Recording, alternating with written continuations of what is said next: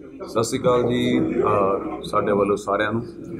ਅਸੀਂ city university Mullanpur, Ludhiana ਵਿਖੇ ਆਏ ਹਾਂ। ਅੱਜ ਸਾਡਾ ਮੂਵੀ ਦਾ ਪ੍ਰੋਮੋਸ਼ਨਲ ਟੂਰ ਚੱਲ ਰਿਹਾ ਤੇ ਦੋ ਦਿਨ ਰਹਿ ਗਏ ਫਿਲਮ ਰਿਲੀਜ਼ ਹੋਣ ਦੇ ਵਿੱਚ ਤੇ ਮੈਂ ਸਿਟੀ ਯੂਨੀਵਰਸਿਟੀ ਦੇ ਸਾਰੇ ਸਟੂਡੈਂਟ ਨੂੰ ਰਿਕੁਐਸਟ ਕਰਦਾ।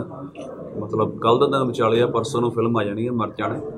ਸੋ ਜਰੂਰ ਥੀਏਟਰ ਵਿੱਚ ਜਾਓ, ਪਰ ਸਾਡੀ ਫਿਲਮ ਦੇਖ ਕੇ ਆਓ ਤੁਹਾਨੂੰ ਫਿਲਮ ਡੈਫੀਨਿਟਲੀ ਸੋਹਣੀ ਲੱਗੇਗੀ। ਯੂਥ ਦੀ ਵੀ ਫਿਲਮ ਆ ਫੈਮਿਲੀ ਦੀ ਵੀ ਫਿਲਮ ਆ। ਪਹਿਲਾਂ ਆਪ ਦੇਖ ਆਓ ਬਾਅਦ ਚ ਆਪਣੇ ਪਰਿਵਾਰ ਨੂੰ ਵੀ ਲੈ ਕੇ ਜਾਓ ਬਸ ਇਹੀ ਸਾਡਾ ਮੈਸੇਜ ਹੈ ਥੈਂਕ ਯੂ ਸੋ ਮਚ ਤੁਸੀਂ ਕੁਝ ਕਹਿਣਾ ਚਾਹੁੰਦੇ ਥੈਂਕ ਯੂ ਸਾਨੂੰ ਇੱਥੇ ਲਈ। ਅਮ, ਅਸੀਂ ਬਹੁਤ ਪਿਆਰ ਨਾਲ ਫਿਲਮ ਬਣਾਈ ਹੈ ਮਰ ਜਾਣਾ ਹੈ।